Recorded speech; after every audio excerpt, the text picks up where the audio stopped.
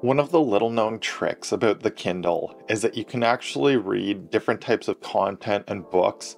other than just those that you pick up from Amazon. So there are a few ways you can go about doing this, and I want to talk about how I make use of reading PDFs on my Kindle and get the most out of it. And at first, it might sound like it's a bit of a pain to read a PDF on the smaller screen size of your Kindle rather than on a larger iPad or on your desktop computer. But there are a few ways that you can actually make this much more readable on the Kindle that I like to make use of quite a bit. If you're reading something like a research paper or a book that's formatted as a PDF with a lot of white space around the edges of the text, then it can certainly be annoying to have to pinch and zoom a whole bunch to read and be able to see the, the text that's on the page.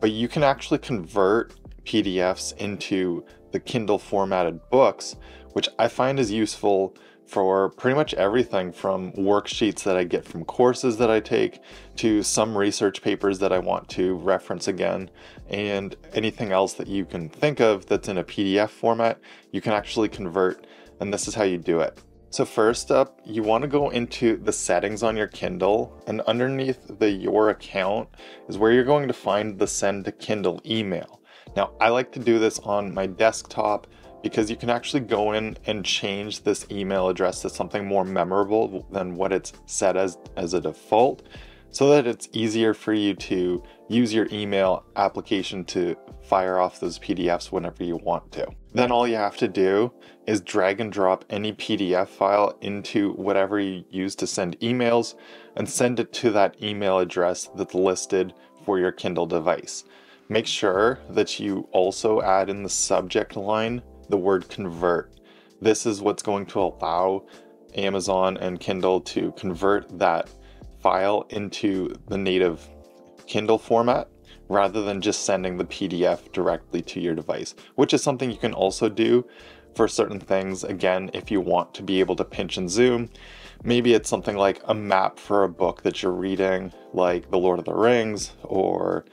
Game of Thrones, and you want to be able to reference those maps on your device. But otherwise, I find that it's very useful to convert it into the Kindle format before I actually send those PDFs. And this can work surprisingly well for a lot of research papers, especially once you're familiar with the formatting of the typical journal article because, you know, there's going to be some conversion issues with things like the tags or the keywords that are related or the different sections, but I find that it works really well to get the majority of the text from a journal paper into a very readable and highlightable format rather than just trying to pinch and zoom if you want to read it on your Kindle. But my most favorite way to make use of this is with any course notes from any courses that I'm taking. And this may be the worksheets or workbooks that you get